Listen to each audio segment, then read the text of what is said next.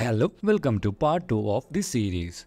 Let's move to question number 21. In PNF, D1 flexion of the lower limb hip joint movement will be Option A, flexion, abduction, internal rotation. Option B, flexion, adduction, external rotation. Option C, flexion, adduction, internal rotation. Option D, flexion, abduction, external rotation. And the answer is Option B, flexion, adduction, external rotation. Now let's move to question number 22. When two unequal forces acting at different points and in opposite direction produce dash moments in the body. Option A flexion, option B extension, option C rotation, option D adduction. And the answer is option C rotation. Now let's move to question number 23. The term joint play means the moment that is Option A not under control. Option B not possible with muscle contraction. Option C both of above. Option D none of above. And answer is Option C both of above. Now let's move to question number 24. If a joint articular surface is more congruent, then there is more.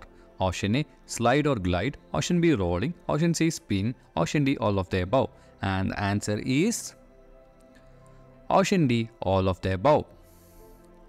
Now let's move to question number 25. In manual muscle testing moments against the gravity with minimal resistance is dash.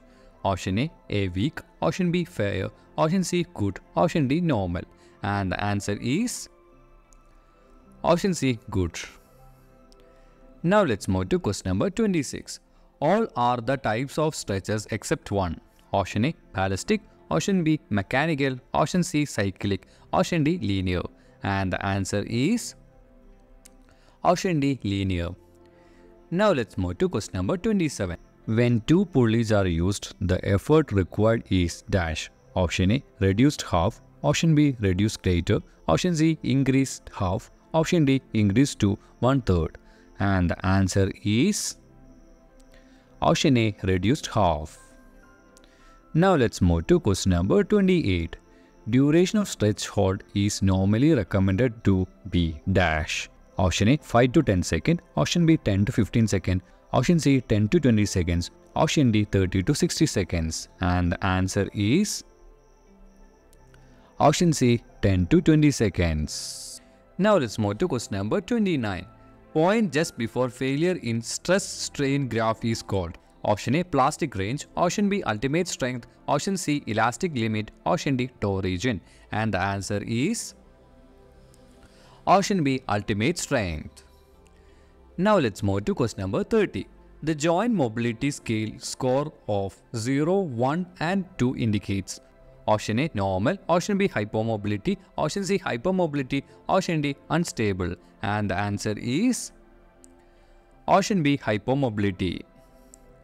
Now let's move to question number 31. Neurophysiologic effect of manipulation is Option A pain relief, Option B relief of spasm, Option C relief of muscle guarding, Option D all of the above. And the answer is Option D all of the above. Now let's move to question number 32. Mechanical effect of manipulation is Option A stretching of collagen, Option B increased lubrication, Option C increased synovial fluid circulation, Option D, all of the above. And the answer is option D, all of the above. Now let's move to question number 33. Complication of joint manipulation can be Option A, death. Option B, damage to articular structures. Option C, damage to heart tissue. Option D, all of the above.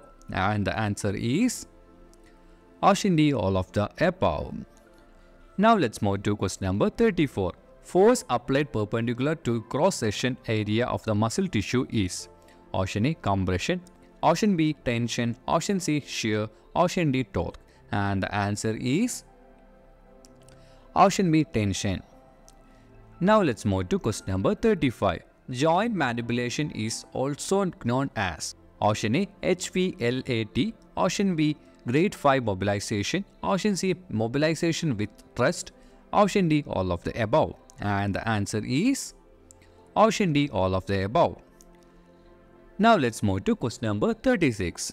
Red flags for joint mobilization means option A precautions, option B indications, option C contraindications, option D positive factors and the answer is Option C contraindications.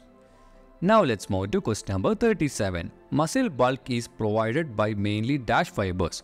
Option A elastin, option B actin, option C myosin, option D reticulin and the answer is option D reticulin. Now let's move to question number 38. Thrust manipulation for a joint is done at the option A beginning of the range of motion, option B middle of the range of motion, option C end of the available range of motion, option D all of the above. And the answer is option C end of the range of motion. Now let's move to question number 39. Which orthotic device is for a permanent common peroneal nerve injury? Option A KFO, option B HKFO, option C AO, option D AFO. And the answer is option D AFO. Now let's move to question number 40. With thrust manipulation, the therapeutic benefit is expected. Option A immediately, option B after 24 hours, option C after 1 week, option D all of the above.